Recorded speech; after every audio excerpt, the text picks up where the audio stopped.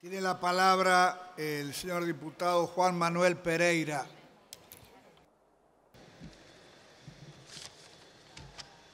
Gracias, señor presidente.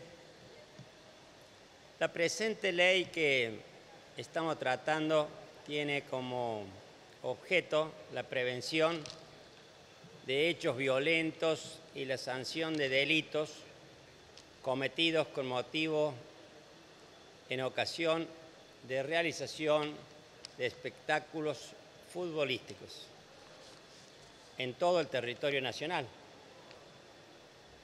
Voy a votarlo afirmativo en general.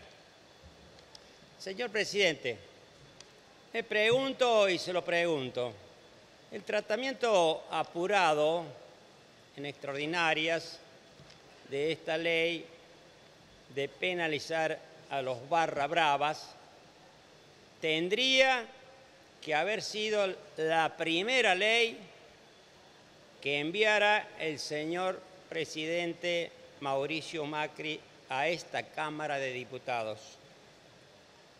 ¿Por qué él esto? Porque hoy la tratamos. Él conoce más que nadie, porque fue presidente de una gran institución del fútbol argentino, y eso hay que agregar a esto que el actual presidente de ese club, como el presidente de la AFA, son sus amigos. Yo también fui dirigente de fútbol varios años y podría decir muchas cosas de eso. Señor presidente, esta importante ley,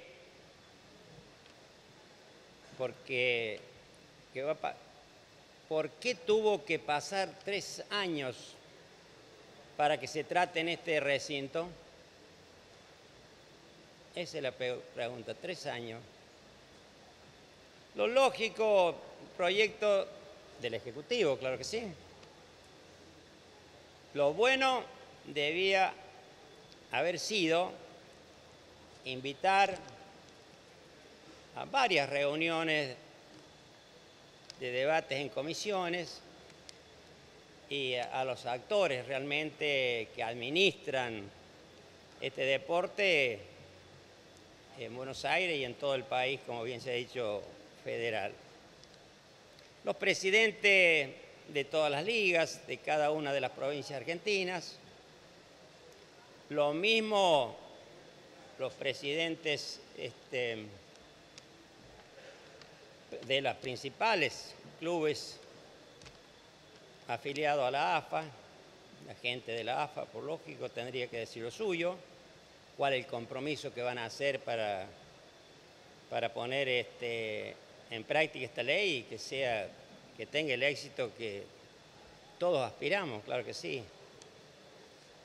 Porque, valga la redundancia, el éxito o el fracaso va a pasar por ellos ellos, los dirigentes de las instituciones del fútbol, que trabajan toda la semana y, también los fines de semana con más razón porque es cuando se realizan los eventos.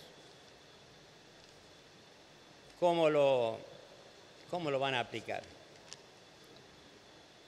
No solamente, señor presidente, profundizar en lo penal, como mayormente eh, esta ley, diríamos así que lo más fuerte es la penalización. Hay que profundizar en la educativa, en la educación. Siempre hablando del fútbol, de, de los deportes en general, porque no solamente el fútbol. Eso es lo que lo está faltando. Educación, educativo y cultural educativo y cultural. Esto es lo que quería decir, señor presidente. Muchas gracias. Muchas gracias, señor diputado.